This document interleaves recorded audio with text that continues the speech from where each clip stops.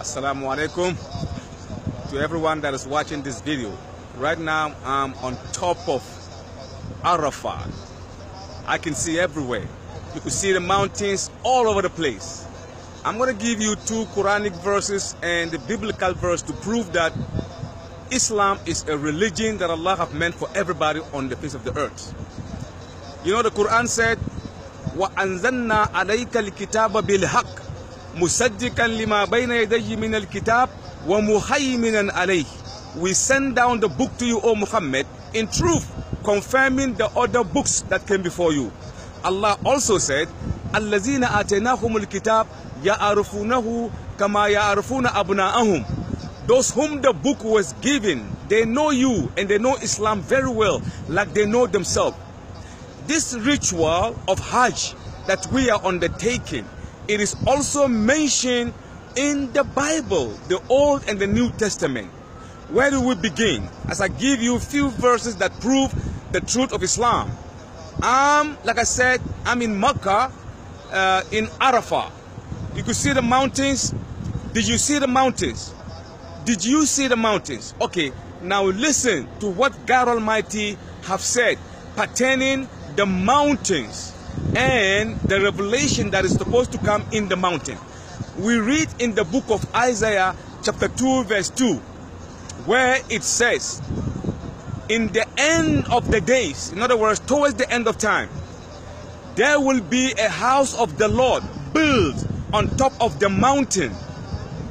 And this house of prayer of the Lord will be famous and superior than any other place of worship. And the people all over the world will flow into it. They flow into it and worship there. Now, as you can see, uh, the whole Mecca and Arafah and Mina, all of these places were built on the mountains. And the Bible said, the house of the uh, of the Lord that will be on the mountain will be greater and more famous than any other place of worship. Now I want you to tell me in earnest which house that was built on the rock says the Bible that is more famous and people all over the world will flow into it. That is exactly what you see when you come to Mina. When you come to Hajj, you see people flowing. They keep flowing. People flowing all over the place. And so this is what the Bible is saying. And then we also read somewhere in the Bible the book of uh, Psalms of David, chapter 84, verse 6. This is what it says. David 84, 84 6, it says, uh, God Almighty is speaking. He said, Blessed is the man in whose heart is yearning for the pilgrimage, he who went to the valley of Becca, and he drank the water that came from the spring. The valley of Becca, you know, Mecca is a valley. The Quran mentioned uh, Becca once. The Bible also mentioned Becca once. The Quran said, Inna awwala bayt wudi alinas lallazi bi bakkata mubarakan lil alamin. The first house established to be worshipped is the one that is in Becca for the whole of mankind. The Bible also said, the valley of Becca. Valley means mountains surrounded, you know, a nation. I mean, or a city surrounded by mountain. That is, you know, uh, uh, a valley. And Mecca, Mina, all of Madid, they are all valleys.